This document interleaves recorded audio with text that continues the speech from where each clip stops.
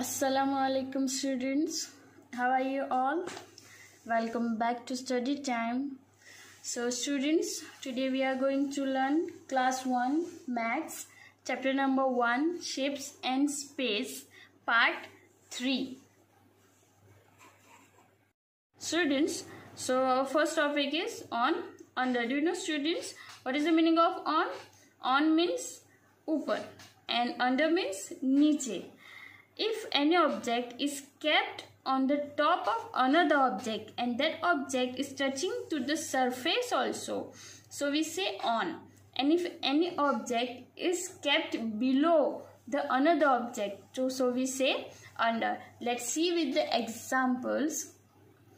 Look at this picture very carefully students. This book is kept on the table and this bag is under the table.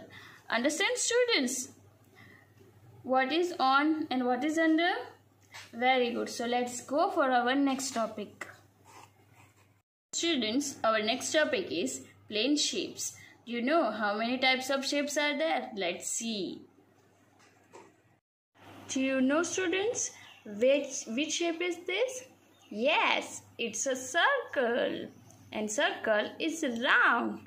Let's see the examples. This lemon half and this clock are the example of a circle. Let's go for our next shape. Our next shape is this. It's look like a circle but it's not a circle. It's oval. Let's see the example of oval. This ball and this egg. These are the example of a oval. You know students which shape is this? This is a rectangle. Let's see the example of rectangle. This currency notes and this photo frame. These are the example of rectangle. So I hope students you understand very nicely.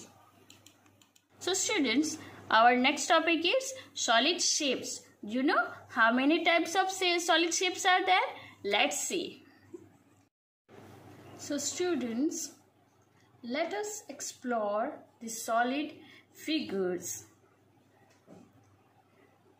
The different types of solid figures are cube, cuboid, cone, cylinder and sphere.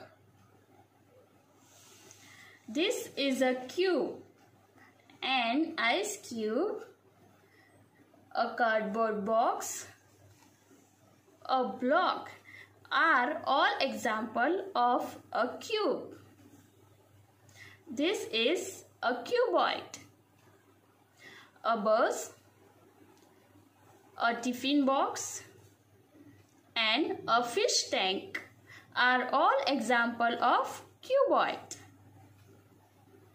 This is a cone, an ice cream cone, a birthday hat and a pencil tip are all example of a cone. This is a cylinder.